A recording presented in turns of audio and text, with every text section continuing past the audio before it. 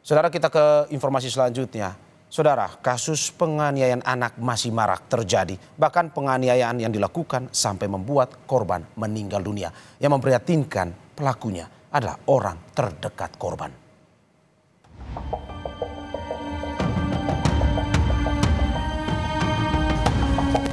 Mulia, ini, ini, ini, ini Mulia, ini, ini.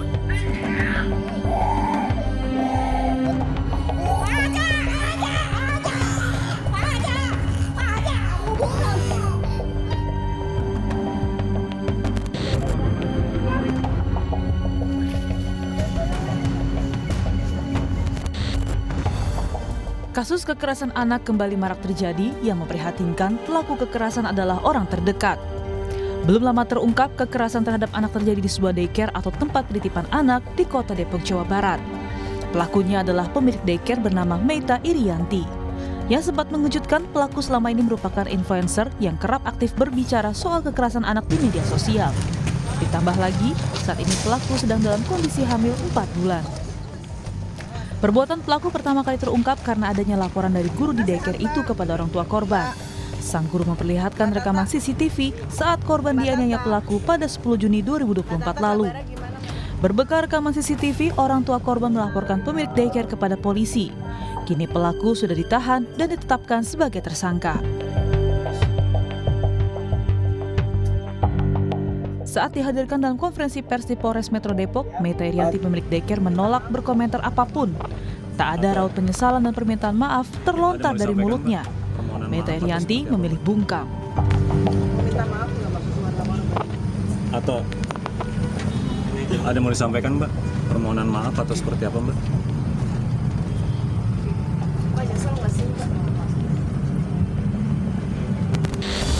Ini, ini,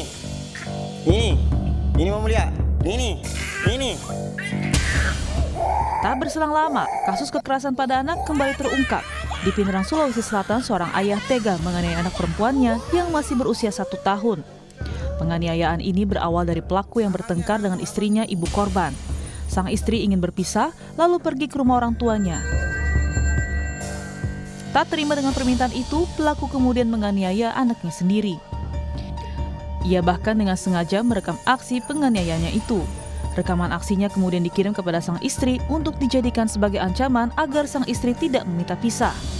Nenek korban yang melihat penganiayaan itu berusaha melindungi korban namun tidak berhasil. Polisi yang mendapat laporan penganiayaan itu langsung menangkap pelaku. latar belakangnya pelaku ini sangat eh, apa ya dia kesal kan? kesal terhadap eh, istrinya dan keluarga istrinya Sekarang pelaku sudah diamankan. sekarang pelaku sudah kita amankan? Sebenarnya itu kurang lebih 16 jam. Iya. Si anak sekarang Bang, si anak sekarang ini dia dirawat dulu di rumah sakit.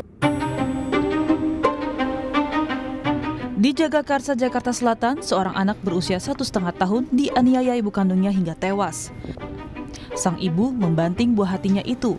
Sempat dibawa ke rumah sakit untuk mendapat pertolongan, namun nyawa korban tidak berhasil diselamatkan. Warga menduga sang ibu mengalami depresi berat. Apalagi pelaku dikenal memiliki riwayat gangguan kejiwaan yang mengharuskan dirinya mengkonsumsi obat-obatan. Pelaku juga kerap mengurung diri dalam kamar bersama putrinya. Polres Metro Jakarta Selatan yang menangani kasus ini menahan pelaku untuk dimintai keterangan. Selain akan menggelar olah tempat kejadian perkara dan memintai keterangan sejumlah saksi, polisi juga akan memeriksa kondisi kejiwaan pelaku. kita sudah mengamankan ibu anak yang dibantu. Ya, jadi di PPA dari kemarin sudah kita eh, menggali keterangan-keterangan yang dibutuhkan oleh penyidik. Apakah ada Masih konflik? didalami, masih didalami. Semalam masih kita dalami karena memang eh, ibunya sudah kita amankan. Keluarga pelaku dan korban menyebut kejadian naas ini dipicu depresi berat sang ibu pasca penangkapan suaminya.